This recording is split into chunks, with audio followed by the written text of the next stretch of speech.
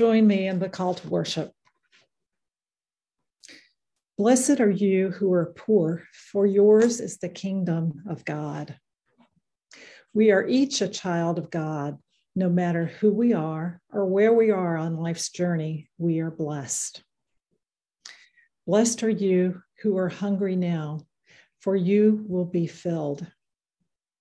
We come to worship the God who feeds us, who fills us, and who blesses us. Blessed are you who weep now, for you will laugh. Let us rejoice in the love of God and worship God together in prayer, song, and praise.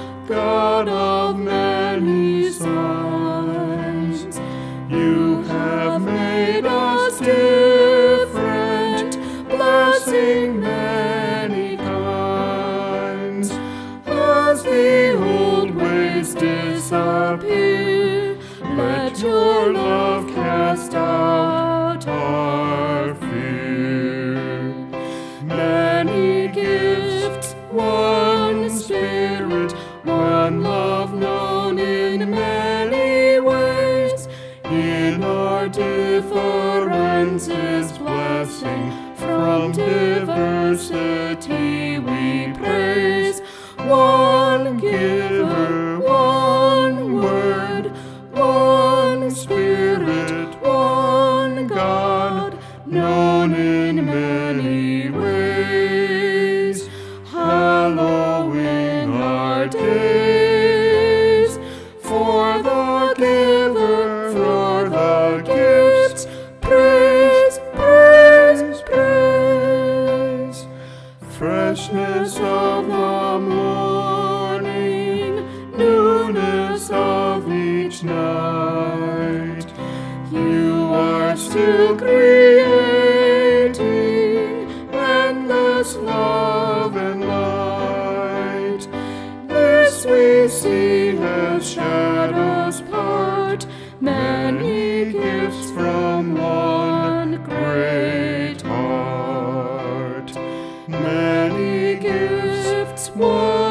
join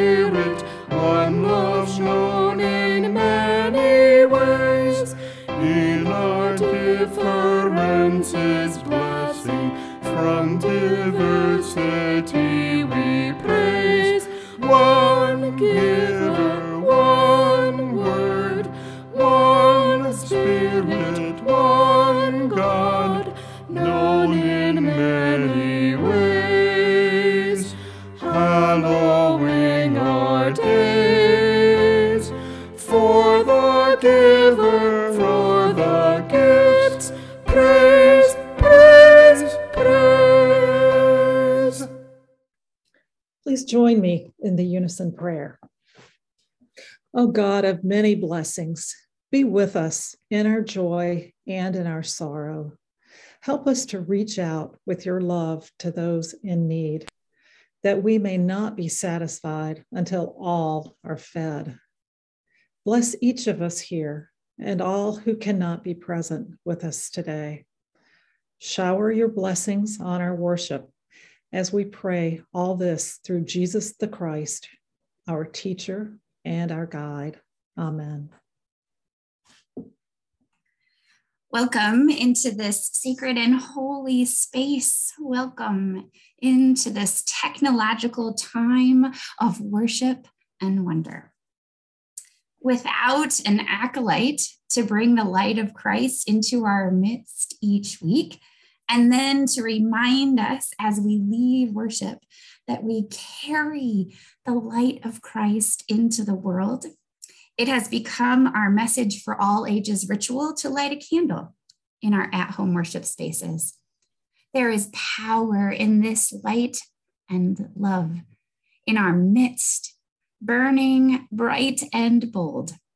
As a collective community and as individual bodies, we all remember today that we are blessed to carry the spark of light with us wherever we go we also are called to pay attention to what we see around us in worship too. Our Sunday school lessons always start grounded in lighting a candle and discussing our liturgical color. For a few more weeks until Lent, we continue to see green in church. In these dreary winter days, green is a sprig of hope, a reminder of things to come, and a promise that buried under layers of sadness or snow, there is growth underneath. Green in church is a reminder that it is time for us to grow in God's love, to grow a deeper understanding of how to be in relationship with God, to deeply care for ourselves and love our minds and our bodies, and to continue to nurture ways that we can be in community with our neighbors. February is Black History Month. And last week, I mentioned a resource, Voices of Black Midland. You can find the website and explore on your own, or see daily posts on our UCC Midland Facebook page. Today, on what the National UCC Church recognizes as Racial Justice Sunday, I have another beautiful story to share with you. To protect the work of author Angela Joy, illustrator Ekua Holmes, and Roaring Brook Press, if you happen to be watching the video recording of worship at a later time, you'll be directed to a link to get more information about this amazing book. As you can see, I also have a hard copy. So if anyone would like to borrow it at any time, just let me know. In addition to profound words and beautiful images to learn from, the author has also curated a music video playlist on YouTube that is a powerful learning tool as well. I will share the link for that playlist in the chat and on Facebook after I read this story. Black is a rainbow color.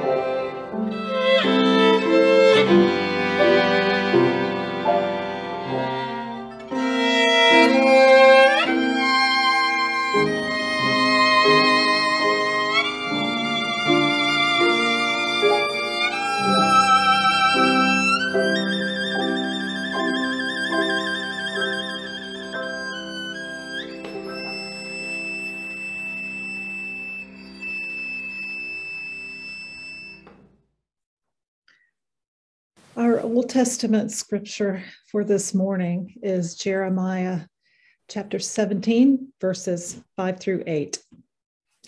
Thus says the Lord Cursed are those who trust in mere mortals and make mere flesh their strength, whose hearts turn away from the Lord. They shall be like a shrub in the desert and shall not see when relief comes. They shall live in the parched places of the wilderness in an uninhabited salt land. Blessed are those who trust in the Lord, whose trust is the Lord. They shall be like a tree planted by water, sending out its roots by the stream. It shall not fear when heat comes, and its leaves shall stay green. In the year of drought, it is not anxious, and it does not cease to bear fruit. Our next reading comes to us from Luke chapter 6, verses 17 through 26. It is sometimes referred to as Jesus' Sermon on the Plain. Just prior to this reading, Jesus has been up on a hillside praying during the night. Jesus came down with them and stood on a level place with a great crowd of his disciples and a great multitude of people from all Judea, Jerusalem, and the coast of Tyre and Sidon. They had come to hear Jesus and to be healed of their diseases. And those who were troubled with unclean spirits were cured. And all in the crowd were trying to touch Jesus, for power came out from him, and he healed all of them. Then Jesus looked up at his disciples and he said, Blessed are you who are poor, for yours is the kingdom of God. Blessed are you who are hungry now, for you will be filled. Blessed are you who weep now, for you will laugh. Blessed are you when people hate you and when they exclude you, revile you, and defame you on account of the Son of Man. Rejoice on that day and leap for joy for surely your reward is great in heaven, for that is where their what their that they did to their ancestors and the prophets. But woe to you who are rich, for you have received your consolation. Woe to you who are full now, for you will be hungry. Woe to you who are laughing now, for you will mourn and weep. Woe to you when all speak well of you for that is what their ancestors did to the false prophets. So ends our readings for this day. Amen.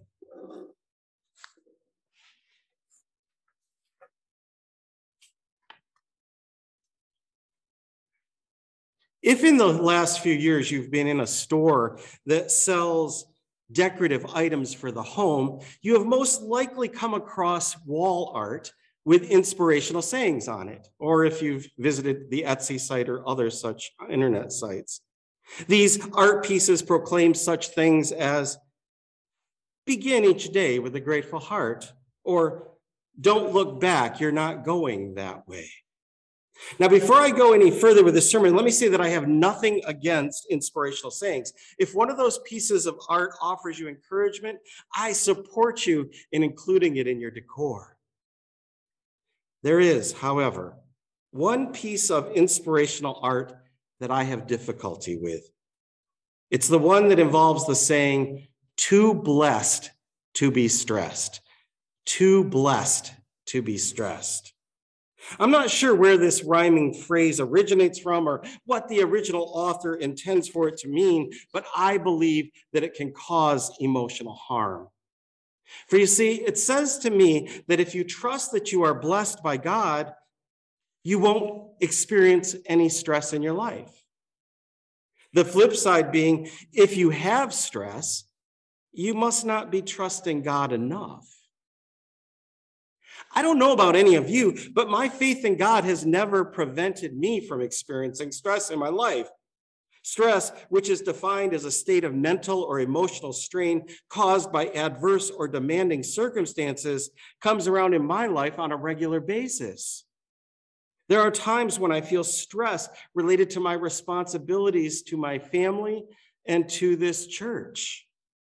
I also feel stress when I hear of injustices taking place in our country, the degradation of our planet, and the tensions that exist between nations. According to this very popular piece of wall art, I am either not blessed or I'm lacking in faith. This morning's reading from Luke offers a different perspective on what it means to be blessed. After Jesus spends some time on the hillside praying, he comes down to a level place to be among the people. At that time, numerous individuals surround Jesus, wishing to hear a word of hope and to be healed of their afflictions. In what is now referred to as the Sermon on the Plain, Jesus offers a series of four blessings which go against the conventional wisdom of that time. In that culture, it was believed that God blesses people with wealth, good health, and a large family. Jesus says that the people who are blessed are the poor, the hungry, the grieving, and those who are hated by others.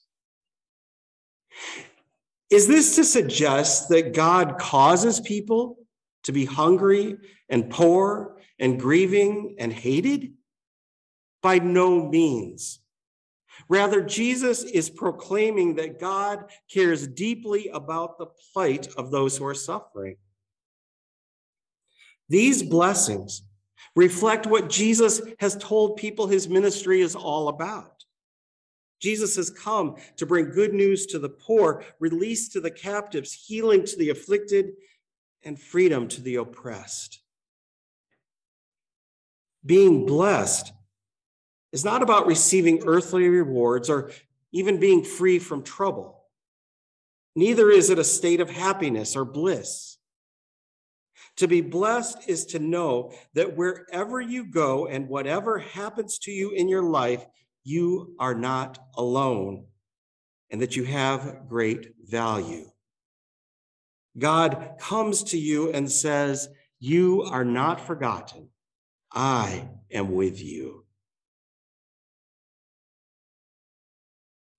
This message of hope offered to people on a plain many years ago offers encouragement to all of us.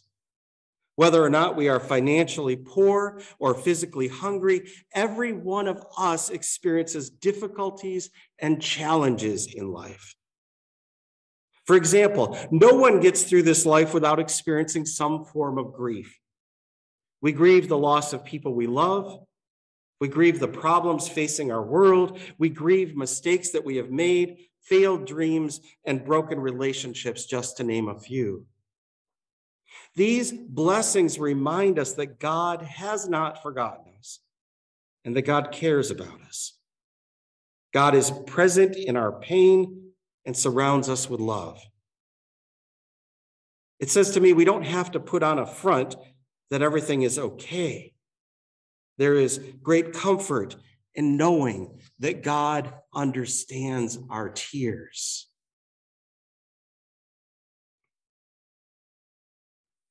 You will recall that after offering four blessings, Jesus goes on to share four woes, saying, Woe to you now, woe to you who are full now, for you will be hungry. Woe to you who are laughing now, for you will mourn and weep.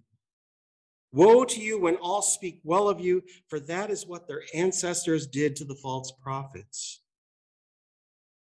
Although the word woe has a negative connotation, I hear Jesus using this word to remind people that they have a responsibility to be a blessing to others. That is, If you have resources, God calls you to share them so that others might live. It's the same message that the prophets had been declaring for generations prior to Jesus. People of faith are called to care for the most vulnerable ones of society. The beautiful thing is, Jesus didn't just talk about caring for the suffering, Jesus engaged personally with those who suffer, feeding the hungry, healing the hurting, advocating for those who are mistreated, and uplifting the oppressed. Doing those things revealed God's love for other people. In addition to having a responsibility for caring for others, Jesus makes it clear that individuals are not to allow their worldly achievements, financial status, or the praise of others to cause them to look down at people or to laugh at others' expense. For you see, those who are only concerned about their own needs or their own reputation separate themselves from God. Just as the blessings offered by Jesus offer a word of hope to us, these woes serve as a reminder to us as one biblical commentator says, to the extent that we find ourselves in prosperity or satisfaction or privilege, Jesus brings us a word of challenge, exhorting us to share God's blessings with our neighbors and with all of creation.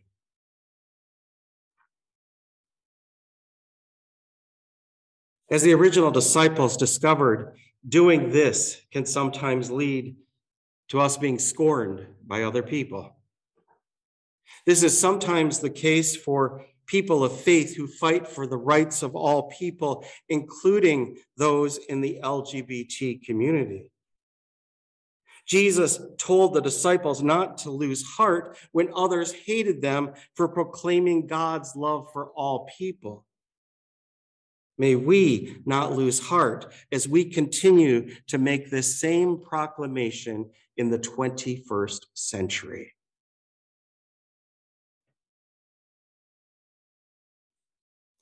And by the way, I had no idea that Jim was going to include our open and affirming statement in our musical offering today. In our staff, we always refer to that as the work of the Spirit. As one biblical commentator points out, blessings and woes are not two separate ideas, they are two sides of the same gospel. Jesus' Sermon on the Plain offers a vision of a world of generosity, love, life, and compassion. Those are things people who are hungry, poor, and sad understand and long for. They're ready and they're waiting for God's world or reign to come. And they welcome it with joy when it does. People who live in ways that make life good for themselves but hard for others don't have much space for generosity, love, life, and compassion. That this kind of world will come is a tough message for them to hear. No wonder Jesus says, that they are going to weep. So, going back to those inspirational wall hangings that I referred to at the beginning of my sermon, I may not feel that I am too blessed to be stressed, but I trust that I do not face my stress alone, that God is with me. That gives me the strength I need to continue living out the responsibilities of my life. Responsibilities that include caring for myself and caring for other people. So perhaps I need a piece of wall art that states, I am blessed in my stress. Let me know if you'd like me to make one of those for you as well. Thanks be to God for these blessings and woes offered on a plain 2,000 years ago and still relevant today. Amen.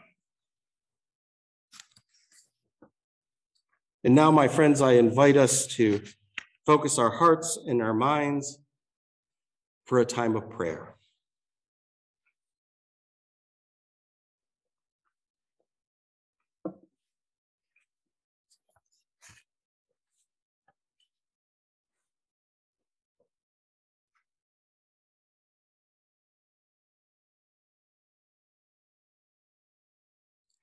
Most faithful and loving God, as this church prepares to hold its annual meeting, we give thanks for the many ways in which your love is shared through word and action.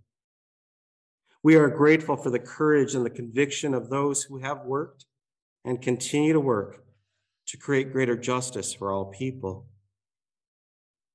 We are grateful for the many ways in which people compassionately care for others beyond this church through their occupations, their volunteer efforts, and their individual acts of compassion. We are grateful for the many ways in which people enrich the life of this church with their gifts, including music, teaching, cooking, carpentry, technology, organization, and so many other gifts. We are grateful for challenges that have led us to expand our ministries, including our outreach through virtual worship. We are grateful for the support offered within this fellowship to those who are hurting, grieving, and lonely.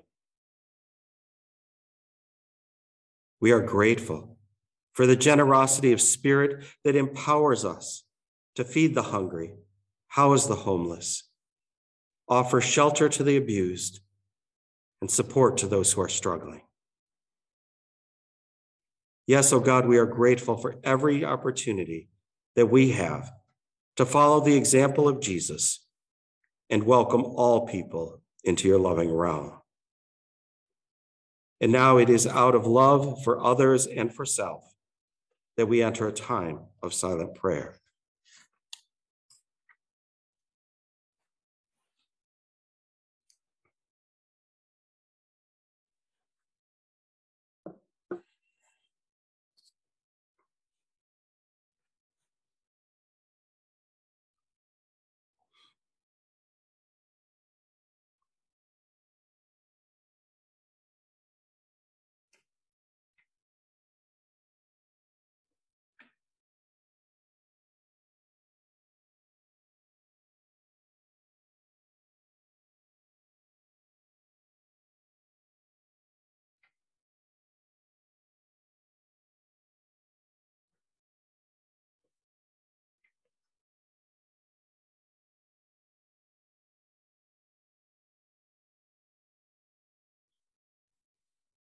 Most gracious God, we do indeed give thanks for Vern and for Willie and for all the individuals who helped to give birth to this wonderful congregation. We pray that your comfort and your peace would surround the family of Diane's brother Jim and of Janet's cousin Bob, that they may feel your love coming to them from all the compassionate care of others. We give thanks that John and Callie have come through this tragic event in their lives and pray that you would continue to guide them as they rebuild their lives. United in the spirit of Christ's love, O oh God, we offer this prayer that Jesus once shared with those original disciples, saying, Our Father, who art in heaven, hallowed be thy name. Thy kingdom come, thy will be done on earth as it is in heaven. Give us this day our daily bread, and forgive us our debts as we forgive our debtors. And lead us not into temptation, but deliver us from evil. For thine is the kingdom, and the power, and the glory forever. Amen. And now, having been blessed by this time of coming together for worship, we return to our daily lives to be blessings to others. We do so trusting that the love of God empowers us to be disciples in this day and age, Let us now go forth in God's peace. Amen.